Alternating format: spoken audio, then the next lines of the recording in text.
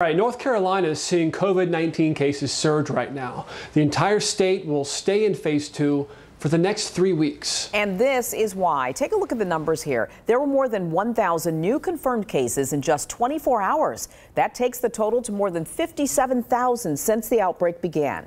1,290 people have died in the Tar Heel state. Governor Roy Cooper ordered a statewide mask requirement that begins tomorrow. 13 News Now reporter Adriana de Alba went to Dare County where that requirement is already in effect.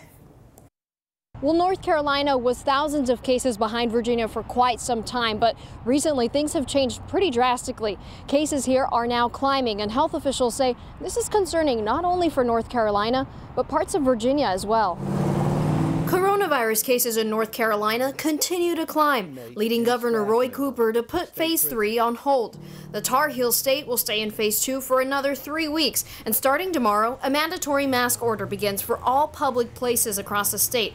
Here in Dare County, health officials made masks a requirement this past Sunday. Visitors from out of state, like Anna Smith, having to mask up on vacation. Um, I don't mind wearing a mask. It's not a big deal to me. If it's helpful to prevent spread, I'm totally willing to do it. The requirement comes after health officials in North Carolina report a continuous climb in positive cases of COVID 19.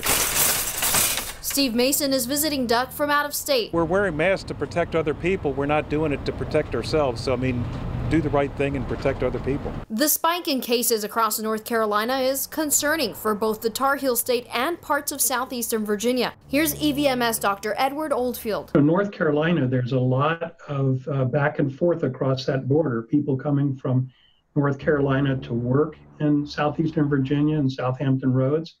And there's no question if the rates go up in North Carolina and those people come to work here, uh, there's a potential for transmission. Oldfield says masks are key in preventing further spread between states, and the people we met today don't really mind putting them on. I'm used to it. In Dare County, Adriana de Alba, 13 News Now.